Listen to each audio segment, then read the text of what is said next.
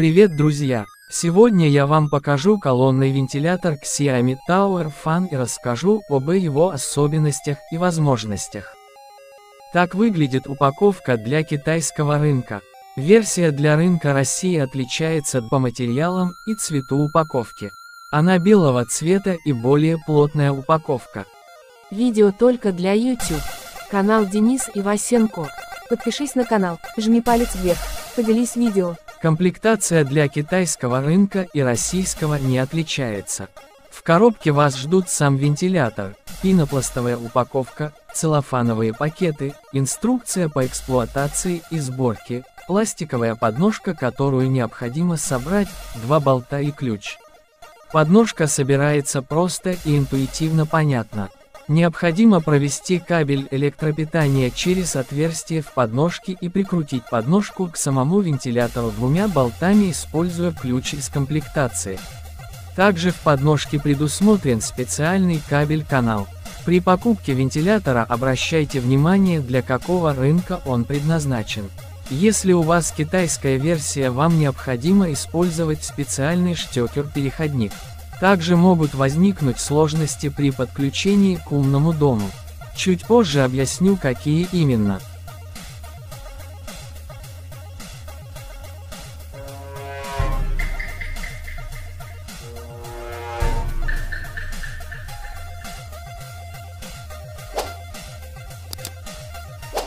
Собрали вентилятор, подключили в сеть электропитания, подключаемся к умному дому Home. В приложении Mi Home появится вкладка «Климат». Перейдя вкладку «Климат» вы найдете вентилятор. Включаем вентилятор через мобильное приложение Mi Home. Анимация в приложениях для китайского и российского региона разная. Посмотрите в верхнюю часть экрана, как разработчики прорисовали движение воздуха во время работы того или другого режима обдува. Существует три режима обдува. Первый режим – это постоянный, непрерывный ветер. Второй режим – эффект бриза. Этот эффект имитирует легкое дуновение ветра. Но если вы поставите максимальную мощность, то легкое дуновение ветра превратится в сильные порывы. Третий режим – ночной. Ветер дует не постоянно с небольшими порывами, но интенсивность и сам эффект отличается от бриза. Сейчас я спущусь ниже по приложению и покажу какие есть функции. Функционал данного вентилятора предоставляет возможность точно и тонко отрегулировать скорость подачи ветра от 1 до 100%. Сейчас я регулирую интенсивность обдува. Другими словами я выбираю скорость вращения лопастей. Вы, наверное, обратили внимание на тот момент, что не все пункты переведены на русский язык. Для тех, кто знает язык, это не проблема, также все интуитивно понятно. Напомню, что на видео я показываю версию вентилятора для китайского рынка и региона Китай. Но данная версия вполне неплохо справляется со своими обязанностями даже в регионе России, и дальше я вам покажу еще кое-что интересное. Видео только для YouTube. Канал Денис Ивасенко. Подписывайтесь на канал, оставляйте ваши комментарии о пользовании данной модели или задавайте свои вопросы, если таковые имеются перед покупкой данной модели. Поделитесь этим видео и поставьте пальцы вверх. У меня есть несколько моделей данного вентилятора для разных рынков и сейчас я вам покажу чем отличается приложение для российского региона от китайского региона. В левой части экрана будет российский регион, в правой части экрана будет китайский регион.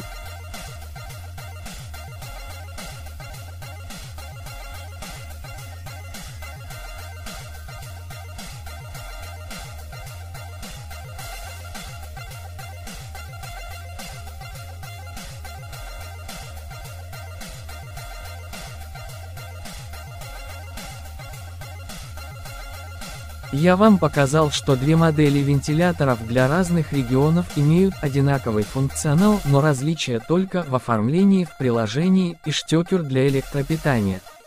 Также у двух моделей вентиляторов есть функция вращения абсолютно во всех трех режимах работы с любой скоростью обдува. Еще есть таймер автоматического отключения или включения. Количество режимов обдува, вращение вентилятора, таймер и скорость обдува не отличаются от регионов Китай и Россия. Вам осталось определиться модель для какого региона подходит вам. Подписывайся на канал, жми палец вверх и поделись этим видео дальше я расскажу о небольших сюрпризах.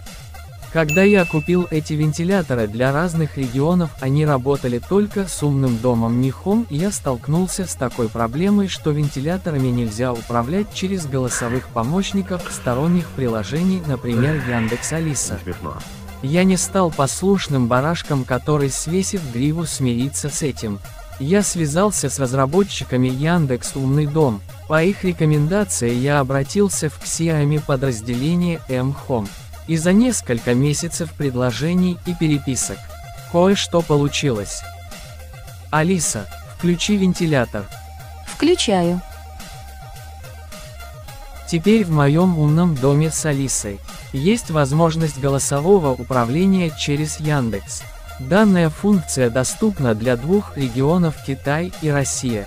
Такая маленькая, но очень значимая победа. Вентиляторы отображаются в приложении «Умный дом» с Алисой. Ими можно управлять не заходя в них Home. Видео только для YouTube. Подпишись на канал Денис Ивасенко. Нажми пальцы вверх. Поделись этим видео. И напиши комментарий об опыте использования данного вентилятора или сервисов Михом и Яндекс. Задавай интересующие тебя вопросы по данной теме и по возможности я сделаю видео или дам ответ в комментариях.